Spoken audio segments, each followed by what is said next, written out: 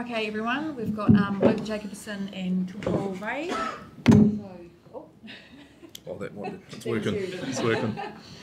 okay, who wants to start? Tupou, just what does it mean to you um, to be here in France preparing for your first World Cup?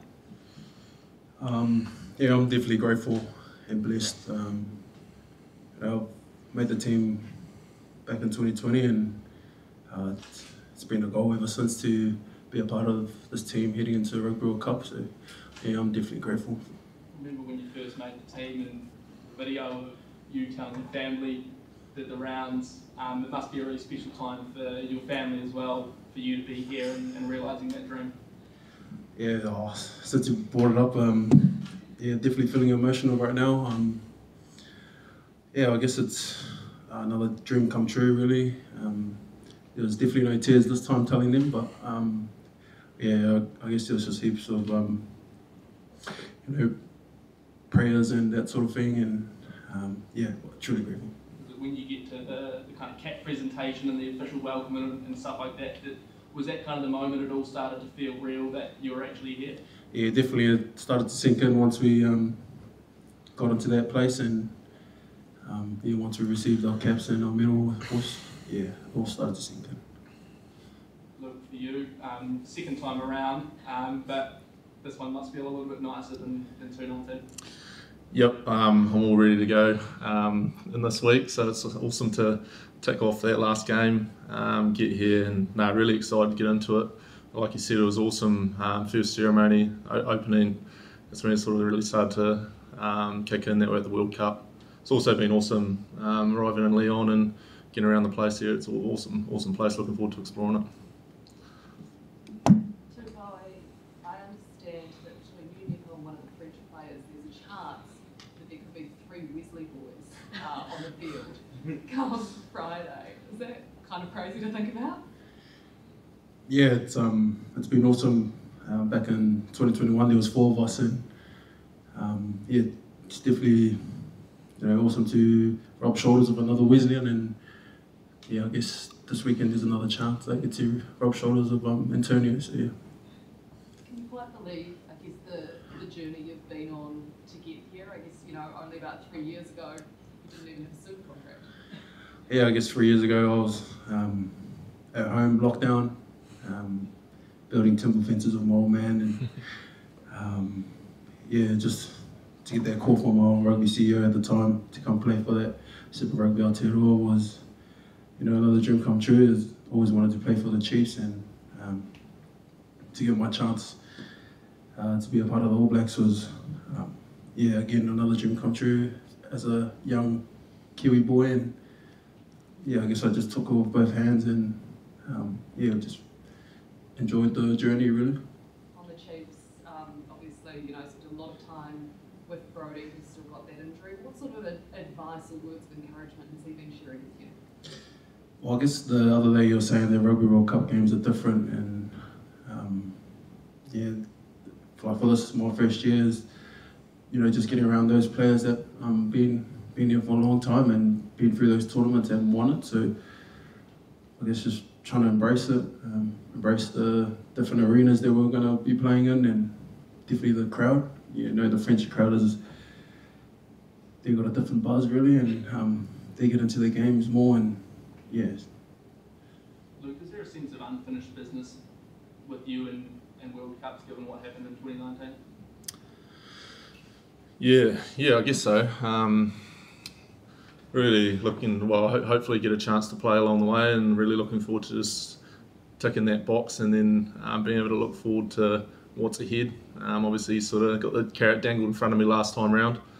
Um, went home, we managed to stay around and watch the first game, which was cool, see what that was about. But um, I imagine it's going to be a different beast being able to play in it, and um, hopefully contribute as much as I can. Given there's going to be, you know, you're up against France first up, host nation, the, the noise and the expectation around that team coming in as one of one of the favourites for this tournament. Is there any way that this All Black group can kind of fly under the radar getting into that opening game?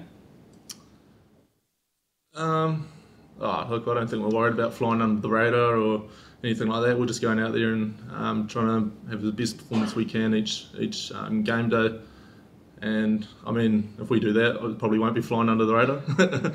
but um, yeah, look, I don't think there's too much on our mind. We'll just go out there and try and um, keep building as a team and um, evolve into a team that's good enough to win this World Cup. Just speaking of unfinished business, you were the unfortunate uh, part of Scott being sent off, you had to the field as well. Has much been said about that to you by the coaching staff, uh, and or just chatting about the importance of discipline going forward? Um, yeah, look, it was a little bit, um, I guess, disappointing for me having to come off in the first half. I was hoping to um, get some decent minutes, but at the same time, it's um, just the nature of the beast sometimes, and um, it was a tactical move. They needed a lockout there. Um, we were unfortunate that we, um, yeah, Scott got red carded for the game, but look, I think I think it's um, it was pretty clear from the review that we probably need to be a bit cleaner there in that discipline area. It's tough to win games when um, when the penalty count's that high. So uh, we'll take a look at ourselves and get that right, um, and then hopefully that doesn't happen. Yeah. Luke, I guess in the, in the context of what did happen in, in 19, what would it mean to you if you got the chance to, you know, run out on the Stade de France on Friday, hear the anthem in front of a, a full house?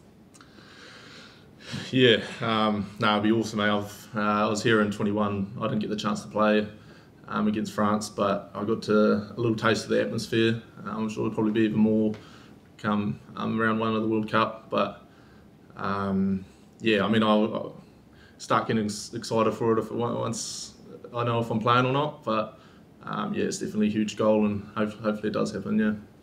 Luke, as a, as a forward pack, it sounds like you guys are stuck in some pretty good work in, in Germany. Um, is that beneficial and what were the, some of the key, um, I guess, focuses post the Boks game, apart from discipline, obviously? Um, yeah, like yeah, we got into a bit of work, but I think a lot of it was more around our technical game and um, the detail around some of our movements. So we're really, um, Jace was really trying to, um, I guess, coach us rather than train us and um, upskill, upskill us and what, what we're doing and around, I guess, our mauls, our defence, um, just all, all things that forwards do, scrummaging. um, so I think we got a good hit there, and I think this week will probably be a little bit more of the work and um, making sure the fitness levels are there for for Friday. Sort of shift from what you've done this year, would you say it's more technical as opposed to, you know, um, full-on physical training? A shift uh, from what I've done previously with the All Blacks. Yeah, so far this year was it more technical rather than um, physical? Yeah, it was just probably more technical. You don't usually get the chance um, to go over that sort of thing when you've got a game at the end of the week. You're probably a little bit more pressed for time, um, and you just get to have, to have to nail off the rocks that you get that you think are most important. Whereas last week we didn't have a game in the weekend, so we had a little bit more time. It was a little bit more of a, a camp situation, um, and I guess they got to touch on some things that they wouldn't usually get time for.